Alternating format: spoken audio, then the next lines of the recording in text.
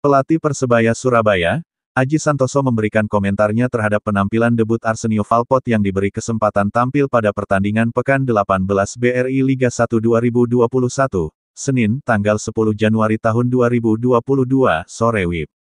Arsenio Valport yang direkrut pada putaran kedua ini bermain sebagai pengganti saat Persebaya Surabaya menang tipis 2-3 dari Persikabo di Stadion Kapten Iwayan Dipta, Gianyar, Bali.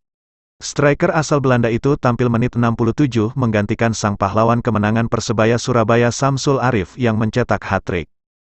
Tujuan dimainkannya Valport tak lain untuk memberinya kesempatan bermain dengan penggawa bajul ijo lainnya. Aji Santoso pun mengaku tidak membebani Valport dalam debutnya tadi. Hal utama yang menjadi perhatian juru taktik berusia 51 tahun itu adalah proses adaptasi Valport bersama rekan lainnya. Valport memang debut hari ini, Jujur dalam pertandingan kali ini saya tidak banyak mengharapkan dia, kata Aji Santoso dikutip dari laman Bola Sport.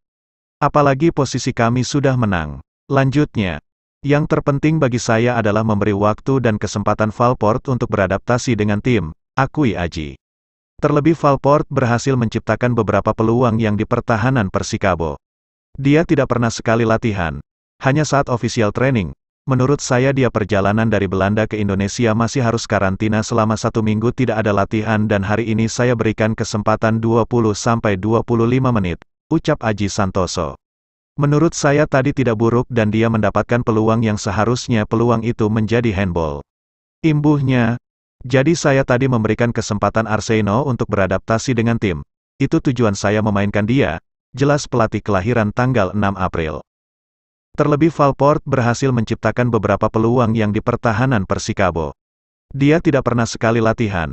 Hanya saat official training. Menurut saya dia perjalanan dari Belanda ke Indonesia masih harus karantina selama satu minggu tidak ada latihan dan hari ini saya berikan kesempatan.